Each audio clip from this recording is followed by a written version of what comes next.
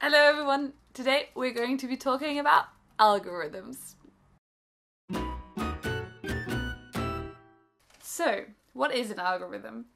An algorithm is a set of instructions used for solving a problem. So, we use algorithms in computer science, but also we as humans use algorithms.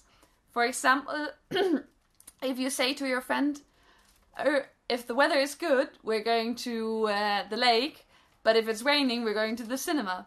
That already is an algorithm.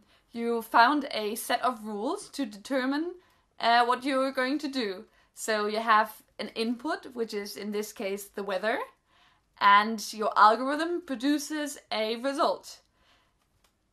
Or when you do a puzzle, for example, so what you would usually do is you start with the corners and the edges, and maybe if it's a big puzzle, you're going to sort the pieces by color. So that is an algorithm that you develop to solve this puzzle. And when we want uh, the computer to solve a problem for us, we need to think of an algorithm first and then write down a set of rules and procedures for so that the computer can solve the problem for us. So essentially, we develop a system of instructions that the computer is able to execute and then provide us with some kind of output. And now let's take a look at some of the classical algorithms that we use in computer science. So, the first thing we're going to look at is the if statement. So, every if statement has a condition. And the condition you can think of like a question. So, for example, is x bigger than 5? Or is the roof green? Or I don't know, any question that you could answer with yes or no. And then, depending whether um, the condition is true or not, you get the the then result or the else result. So if we say if x is bigger than 5, then you would get uh, this result, or if not, then for every result that is not true to that condition, you get the else value. And then we're already at the end of the if loop. And in C sharp, this looks like this. You write if and then your condition and then the the then statement. So exactly so what you want to the computer to do. So for example if this is true then print out um, your calculations succeeded or print out the result is blah blah blah. Else and then the else statement. So if it's not true then print out you got an error or start all over or i don't know Okay, but now let's try that out with a practical example.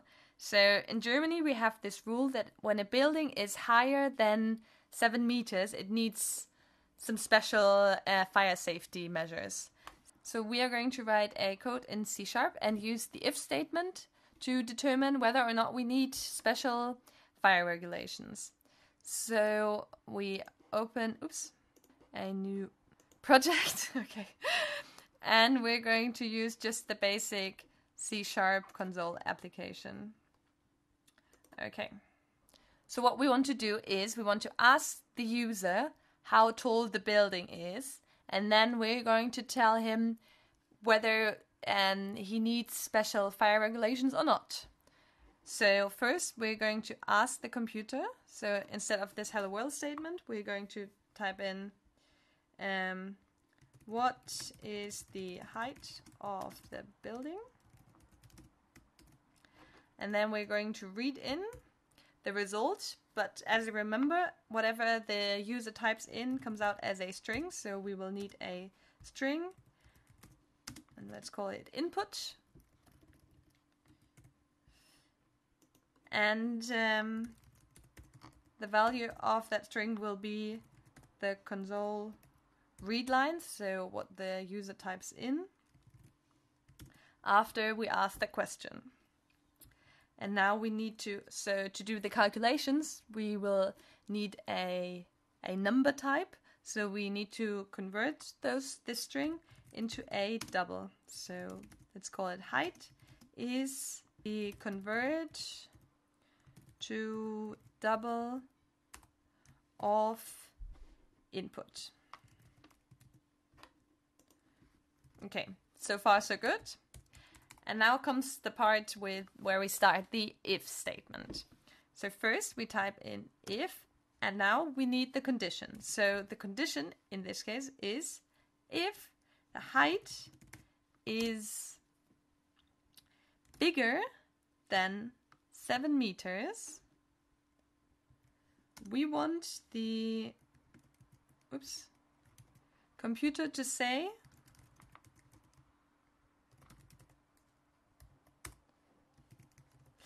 and that we will need uh, special fire safety measurements uh, measures. Okay. Mm. Special fire safety measures required.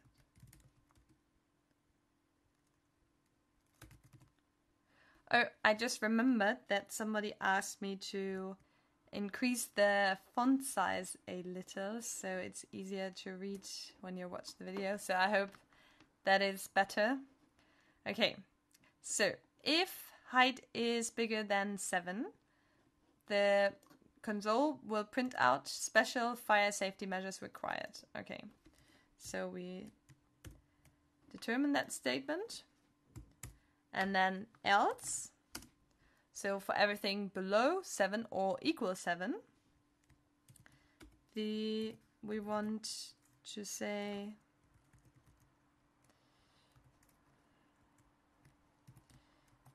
no special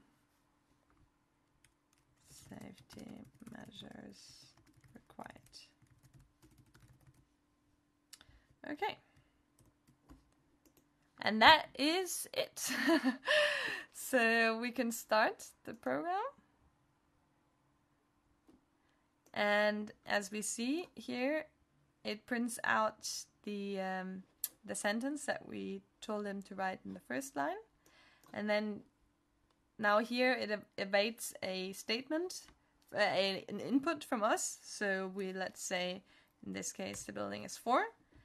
Enter and we get as a return no special safety measures required. Now, just to see that it works, we can do that again with um, a taller building. So let's say 11 meters, and then it says special fire safety measures required. So that is what a basic if command looks like. And then the second algorithm that I want to show you is the for loop. Now we use for loops to when we want to repeat stuff. So just like the if statement, the for loop also has a condition that can be either true or false. And now, as long as this condition is true, we're going to keep repeating the instructions that we give the for loop. So, for example, if this can be helpful when you're searching through a data set and um, you're looking for a specific number or value, and you say, uh, for example, if you're looking for the value 65, okay? So you say, um, as long as the number that I'm currently looking at is not 65, then please go to the next number. And then if that is still not 65, then you go to the next number again until the statement is false. So in this case, your statement was it is supposed to not be 65. So when it is 65, we'll break the loop and we we are stuck with the item that we were looking for. And code wise, this would look like this. So we have the for statement, and then in those brackets, we define the condition that the for statement follows. Um, so for that, we need an initializer, a condition, and an iterator. And after that follows the the body. So this is the instructions that I talked about earlier.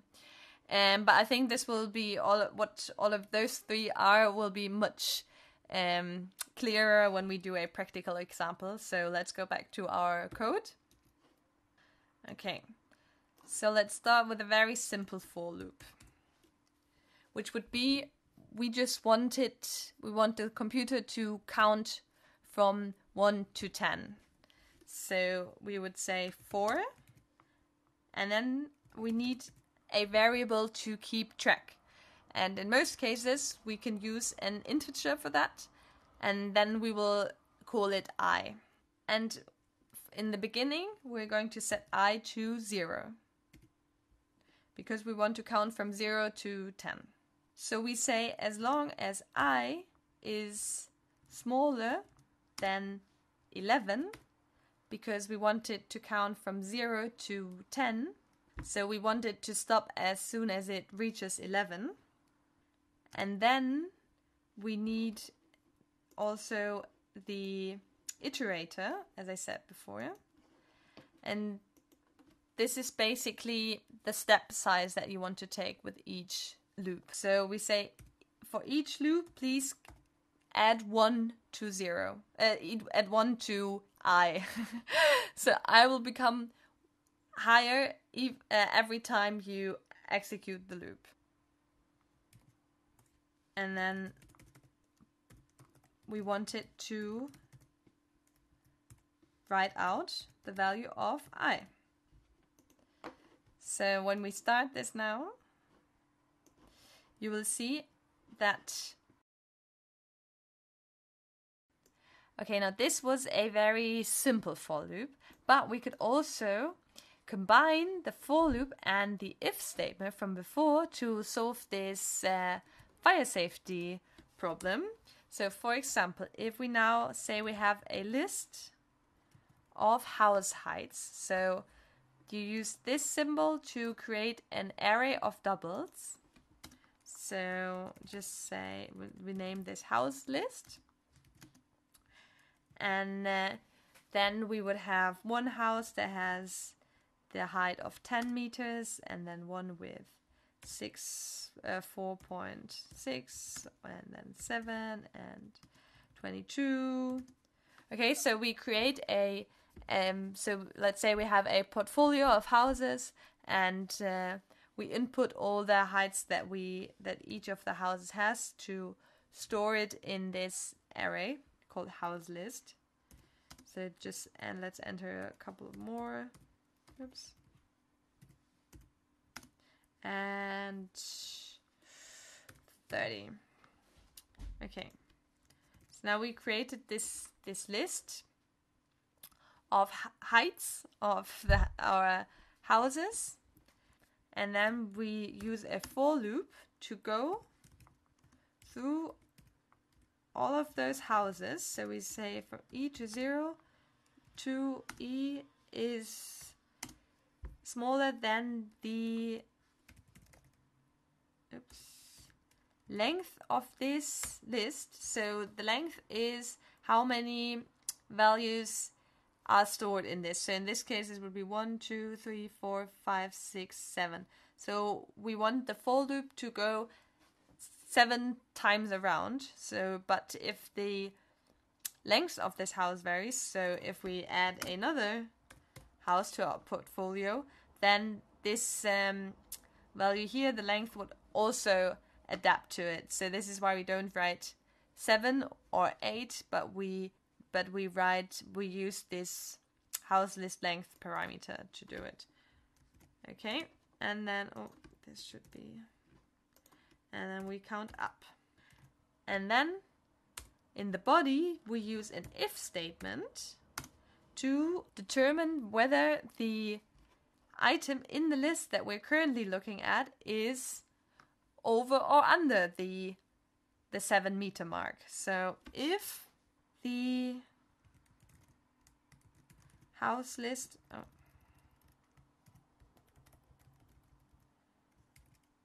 element E, so the E'th element, so if E is 0 then it's the first element and then the second and the third as we go up to the house list. So this is an, also an important thing. We start counting in C sharp. We start counting with zero. So the the first element is the zeros element in in C sharp.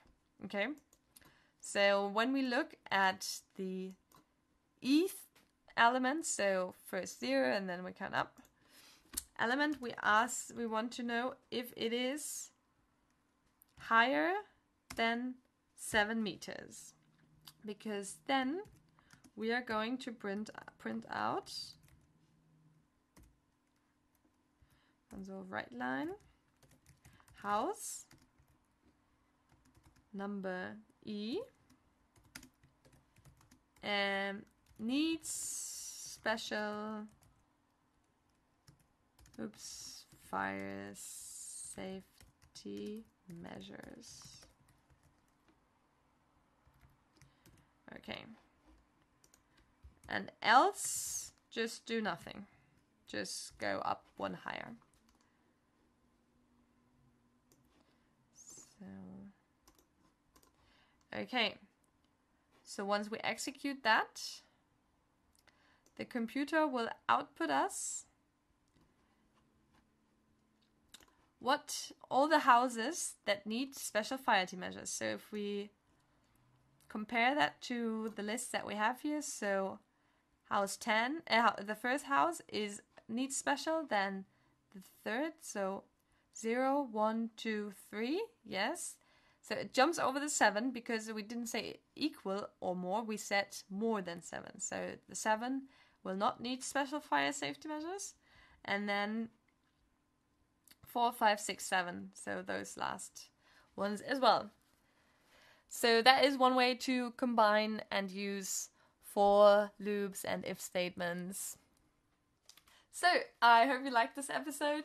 I'm sorry if it was a bit shorter than the previous two, but I am a bit busy at the moment. I am moving to another city and I'm traveling. I am, in fact, when you're watching this, I will already be in Namibia and Africa. I'm traveling there with my family, and um, so at the moment I am like packing and everything. So, oh, if you want to follow me on my my travelers, make sure to check out my Instagram. I'm sure I'll post some cool animal pictures there. And then I see you when I get back. Bye bye.